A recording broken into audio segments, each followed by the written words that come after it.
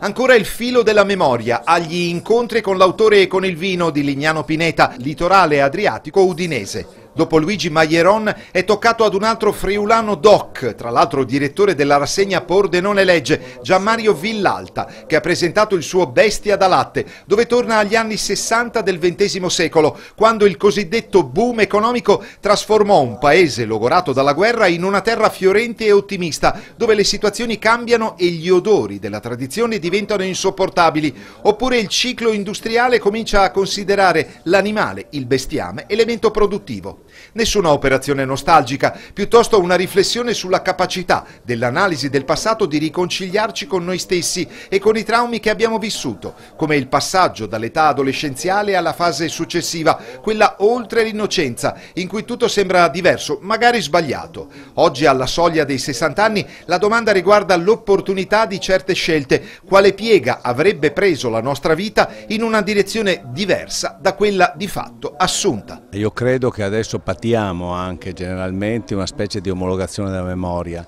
il modo in cui abbiamo presente una realtà passata è quello ideologizzato del revival oppure del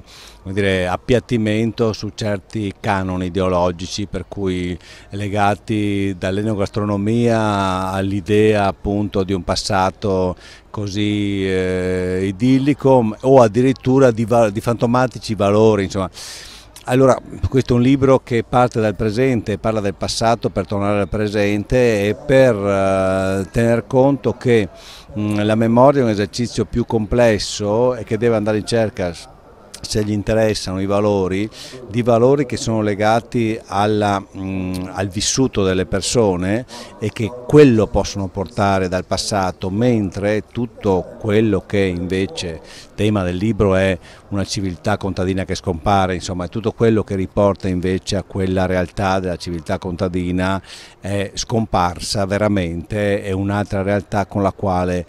dobbiamo fare i conti a distanza e non confondere appunto con le sagre o eh, le immagini così pubblicitarie del Mulino Bianco. Naturalmente c'è stato anche spazio per un buon calice di vino friulano, nell'occasione la Malvasia DOC 2015 di un'azienda di Maniago di Butrio in provincia di Udine.